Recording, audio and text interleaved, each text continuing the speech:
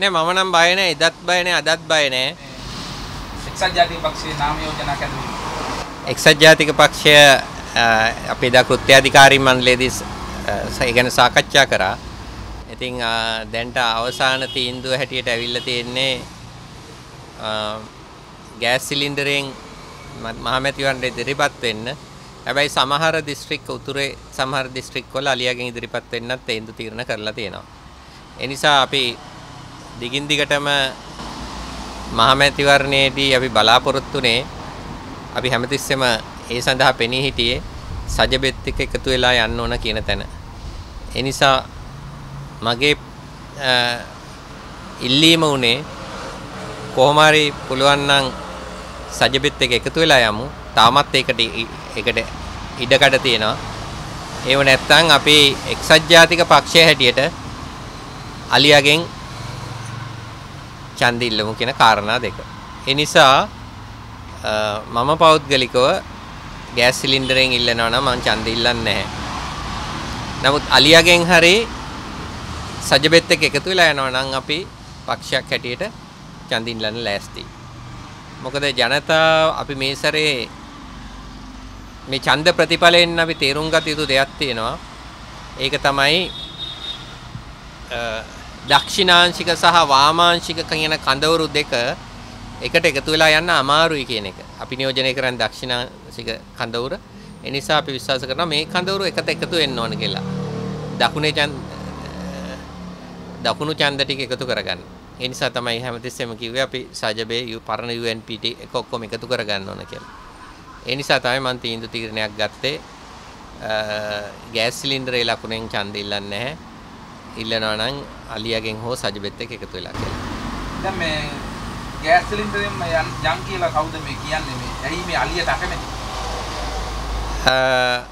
මම හිතන්නේ අලියත් එක්ක විරුද්ධව හිටිය වාමාංශික කඳවුර සමහර අය කැමති නැතුව ඇති. ඉතින් ඔවුන් අපිත් එක ගම්පහ දේශපාලනය කරන කොටත් කිව්වා සමහරලාට ඒගොල්ලෝ කිව්වා අපි මහමැතිවරණයේදී කණ්ඩායම් දෙකක් හරියට ඉල්ලන්න පුළුවන් කියලා. ඉතින් අපිත් එතන තමයි අපිත් හිටියේ. මොකද අ, අපේ අරමුණුනේ ජනාධිපතිතුමා හිටපු ජනාධිපති රනිල් වික්‍රමසිංහ මැතිතුමා දිනවීම. ඒ සඳහා සියලු දෙනාම එකතු කරගත්තා. නමුත් මහමැතිවරණය කියන්නේ ඊට වෙනස් ප්‍රාදේශීය නැත්නම් දිස්ත්‍රික්කයේ දේශපාලනයේදී කවුද පාර්ලිමේන්තුවට යා යුත්තේ කියන සහ සමාජ මතය ඇති කරන්න තමයි මහමැතිවරණය තියෙන්නේ. එතකොට අපි කල්පනා කරේ අපි මේ වාමාංශික සහ දක්ෂිණාංශික කඳවුරු දෙක වෙන් වෙන්න තරඟ වැඩි යුතුයි කියන මතය තමයි අපේ ඔළුවේ තිබුණේ. දැන් මේ නාම යෝජනා හැදීමේදී ඔබතුමාලා අර්බුදයකද ඉන්නේ සිලින්ඩරය සහ මේ අලියා කොහොමද ඒ අර්බුදයන්ට නෑ එහෙම අර්බුදයක් නෙමෙයි සාකච්ඡාවක් තියෙනවා. මොකද සාකච්ඡා අවශ්‍යයි පක්ෂයකට. ඒ සාකච්ඡාවල බහුතර මතයට එකඟ වෙන්න වෙනවා. ඉතින් බහුතර මතයේ ගෑස් සිලින්ඩර් ණයකට එකඟ වෙන්න වෙනවා.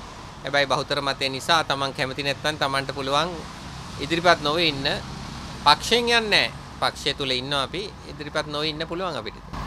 ඒ කියන්නේ දැන් මේක ගෑස් සිලින්ඩරේ යන්න තීරණය කරලා තියෙනවා මේ අය අවසාන විදියට. ඒ කියන්නේ ඔබතුමා මේ සැරේ ඉදිරිපත් වෙන්න හැකිය නේද පාර්ලිමේන්තුවේ? නෑ තාමත් ඒකට ඉඩ තියෙනවා මම හිතනවා එක්ක අලියාගෙන් හෝ තාමත් 11 වෙනිදා වෙනකන් දේශපාලනය වෙනස් වෙන්න පුළුවන් සජබෙත් එකතු කරලා අපිට එක කණ්ඩායමක් හැටියට යන්න අවස්ථාව තියෙනවා නම් ඒකට තාම ඉඩ තියෙනවා ඉතින් 11 වෙනිදා වෙනකන් කියන්න බෑ හැබැයි ගෑස් සිලින්ඩරෙන් යනවා නම් මම ඉදිරිපත් වෙන්නේ නැහැ. රජයේ සාකච්ඡා බිඳ වැටෙන්න හේතුව මොකක්ද ප්‍රධාන වශයෙන්?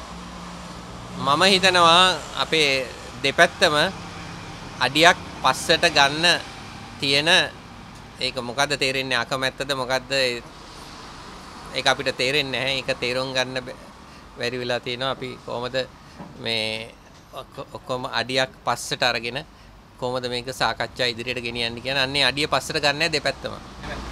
දැන් මේ එක්සත් ජාතික පක්ෂේ නායකතුමා රනිල් වික්‍රමසිංහ මහතා ඇත්තටම කිව්වේ මහා ඡන්දයෙන් පස්සේ පෙන්ෂන් ගියා එතුමා දේශපාලනය කරන්නේ නැහැ කියලා. එතුමා ඉන්නේ මොන වගේ මතයකද එතුමා කියන්නේම අලියගෙන් යමු කියලාද නැත්නම් සම්දානයක් හදමු කියලාද නැත්නම් බුදුමාලා එතුමාලා බලෙන් මේ පුටුවේ වාඩි කරන්නේ. නෑ නෑ ජනා ජන- ජනාධිපතිතුමා තමයි මගේ දේශපාලන ගුරුවරයා. රනිල් වික්‍රමසිංහ මැතිතුමා අපේ හදපත් එතුමාට ඒ ගෞරවය තියෙනවා.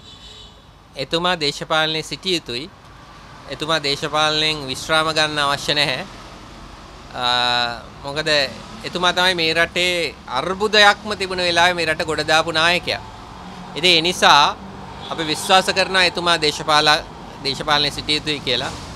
ඉතින් නමුත් අපි අපි එතුමා බලෙන් පුටුවේ තියලා නැහැ. එතුමා නමුත් ඉන්න ඕන කියන ඉල්ලීම අපි එතුමාට කියලා තිනවා. එතුමා නායකත්වයේ සිටිය යුතුයි ඒකට වාදයක් නැහැ. අපි ඔක්කොම එතුමාමයි හැමදාම අපි කියන්නේ එතුමා මුළු රටටම කිව්වා ඔක්කොම එකතු වෙමු කියලා. ඉතින් එතුමා කියන මතේ තමයි අපිත් කියන්නේ ඔක්කොම එකතු කරගමු කියලා. දැන් මේ ඔබතුමා හිතන්නේ මොන වගේ ප්‍රතිඵලයක් ලැබෙයිද මහා මැතිවරණයේදී ඔබතුමාලට? සිලින්ඩරෙන් ගියොත් හරි කොහොම හරි ගියොත් හරි මේ නැත්තම් ජාතික ජන බලවේගයට වැඩි උත්තරයක් ලැබෙයිද? නෑ දැන් මේමයි හැමදාම ජනාධිපතිවරණයකින් පස්සේ රැල්ල හැදෙන්නේ ජනාධිපතිවරණය දිනපු පාර්ශවයට. ඒ නිසා මේක විපක්ෂයට අමාරු මැතිවරණයක් වෙයි. ඉතින් අනිවාර්යයෙන්ම බහුතරය ලබා ගන්න පුළුවන් වෙයි කියලා අපි විශ්වාස කරනවා. එකතු නුනොත්. ඒ හින්දා අපි කියන්නේ එකතු වෙන්න කියලා. විපක්ෂය මුළු සම්පූර්ණ විපක්ෂයම එකතු වුණොත් ජාතික ජනබලවේගයට මේ බහුතරය ලබා ගන්න අපහසු වෙනවා. මොකද ජනාධිපතිවරණ ප්‍රතිඵලය කියන්නේ ඒක.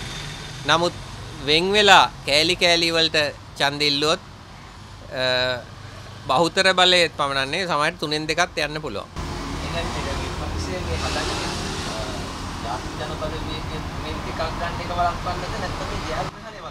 නෑ විපක්ෂයට තිබුණ හොඳම ඉඩකඩ තමයි මුළු විපක්ෂයම එකතු වෙලා මේකට මුහුණ දෙන එක. ඉතින් විපක්ෂයේ මට තේරෙන්නේ විපක්ෂයාගේ නායකයින්ගේ උඩගුකමද මොකක්ද කියන එක හොයාගන්න ඕන අපි. මේ අපරාධ මේ මේ එකතු වෙන්න තිබුණ හොඳම අවස්ථාවටත් පයින් ගහන දේශපාලඥයෝ ඉන්න නිසා තමයි මේක එකතු වෙන්න බැරි. ඉතින් අපි දිගින් දිගින් දිගටම අදත් ෆයිට් කරන්නේ එකතු කරන්න. ඉතින් එකතු කරන්න පුළුවන් නම් ඒක වටිනවා. ඒක එකතු කරන්න පුළුවන් නම් අඩුව තරමේ ප්‍රබල විපක්ෂයක් හරි හදන්න පුළුවන්. හැබැයි මේ කැඩී බෙදී යාම තුල මට නම් හිතෙන්නේ අන්තිමට ජාතික ජන බලවේගයට 3න් 150කට වැඩි ප්‍රමාණයක් යයි කියලා. දැන් අපි මේ ජනාධිපතිතුමා ජනාධිපතිතුමාව පතා මේ ඒක රාශි වෙලා තියෙන්නේ මේ ඡන්දය ජයග්‍රහණය කරන්නද නැත්නම් මේ ඡන්දයෙන් පස්සේ මේ ජාතික ලයිස්තුවෙන් මේ අය පාර්ලිමේන්තුවට කරනවා. ඔය ඔය ප්‍රශ්නය අපේ අයගේ අතරෙත් ගොඩක් දෙනෙක්ගේ තියෙනවා. නමුත් අපි දන්නේ ඇත්තට මේගොල්ලෝ හිතන දේ මොකද්ද කියලා. නමුත් මම හිතන්නේ ඡන්දේ ඉල්ලන්න පුළුවන් හැමෝම ඉල්ලන්න ඕන. ඉතින් ඒක තමයි රටම කියන්නේ. නමුත් අපිට ඉල්ලන්න සුදුසු වාතාවරණයක් ප්‍රාදේශීයව නැත්තම් අපිට ඉල්ලන්න බෑ. ඉතින් ඒක තමයි මම තීරණය කරේ විශේෂයෙන් මිනුවන්ගොඩ සහ ගම්පහ දිස්ත්‍රික්කයේ ජනතාව වෙනුවෙන් දිගටම දේශපාලනේ ඉන්නවා. මම පක්ෂයෙන් යන්නෙත් නැහැ. ඒ දිගටම දේශපාලනේ ඉන්නවා. ඉතින් අපිට ඒ දිගටම දේශපාලන කටයුතු മന്ത്രിවරයෙක් නුනත් පාර්ලිමේන්තු නොසිටියත් අපිට අපේ ජනතාව වෙනුවෙන් කරන්න දේවල් ගොඩක් තියෙනවා. අපි ඒ දේවල් කරනවා ඉදිරියට. අපි දැක්ක දැන් මේ වස්තු ප්‍රවර්ධන ගොඩක් මන්ත්‍රීවරු ජේෂ්ඨයෝ මේ ගොඩක් අය දැන් මේ සැරේ පාර්ලිමේන්තු මැතිවරණය සඳහා තරඟ කරන්නේ මේ තරඟ කරන්නේ නැහැ දේශපාලනය සමුගන්නවා කියලා.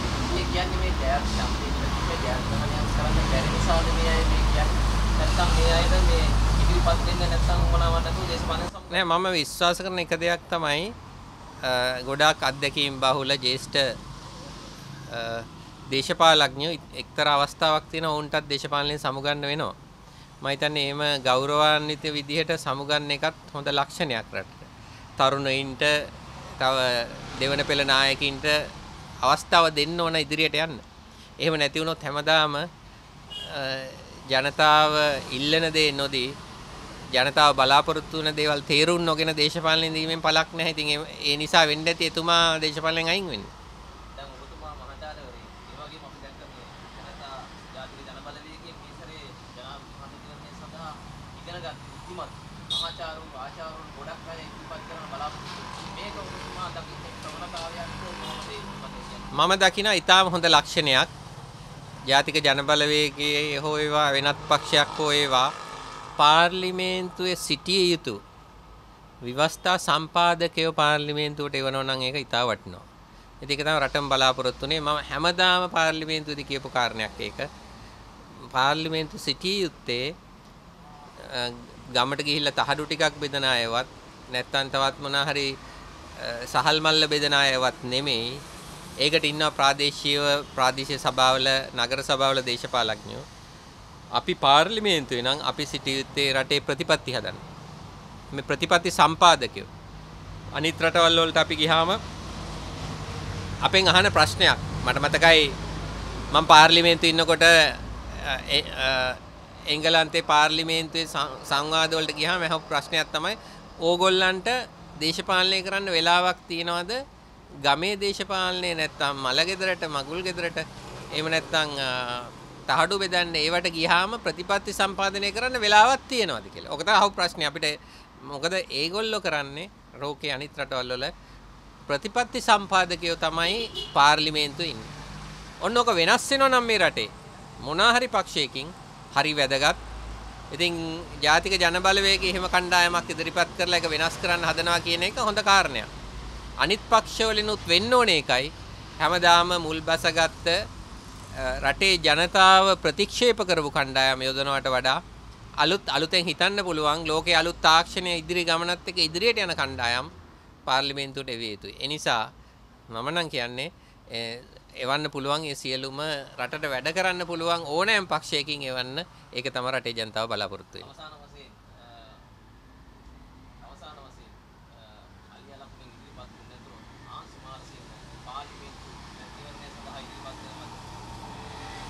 මම මම මගේ ප්‍රතිපත්තිය කියපු දේ එහෙමමයි.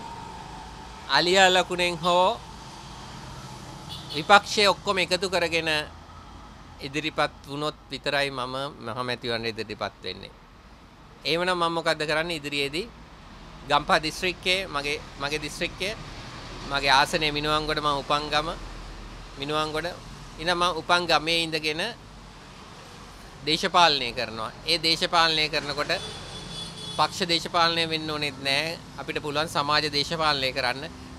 මොකද අපි මේ රටේ නිදහස් අධ්‍යාපනය ඉගෙන ගත්ත අය. අපි මේ රටේ නිදහස් අධ්‍යාපනය ඉගෙනගෙන අධ්‍යාපනය ඉහළටම අපි ගියා. ඒ නිසා අපි මේ රටට සේවයක් කර යුතුයි. මගෙන් මේ රටට ලබා දී යුතු සේවය දිගටම අපි කරනවා. කාටවත් නවත්තන්නත් බෑ ඒක. ඉතින් ඒක අපි ස්වේච්ඡාවෙන් කරනවා. ඉතින් මම බොහොම ගෞරවයෙන් බොහොම ආඩම්බරයෙන් කියනවා මේ දේශපාලනයේදී හම්බ කරගත්ත නැති දේශපාලඥයෙක් හැටියට ඉදිරියටත් මම අපි ක්‍රියා කරන්න සැලසුම් හදලා තිනවා. හැමදාම අපේ ගම්පහ දිස්ත්‍රික්කයේ ජනතාව මිනුවන්ගොඩ ජනතාවත් එක්ක මම ඉදිරියටත් දේශපාලනය කරනවා. ඉතින් ඔවුන්ගේ අරමුණ ඉටු කරන්න, ඔවුන්ට හොඳ සමාජයක් හදන්න, ඔවුන්ට හොඳ අධ්‍යාපනය දෙන්න, ඒ අවශ්‍ය පහසුකම් ටික හදන්න අපි දිගටම වැඩ කටයුතු කරනවා. නෑ මම වසන්ත සමරසිංහ කියලා කියනවා රනිල් නාමල් කට්ටිය වල්ලනවා කියලා. එතකොට ඔබතුමාලා දැන් බය වෙලා තින්නේ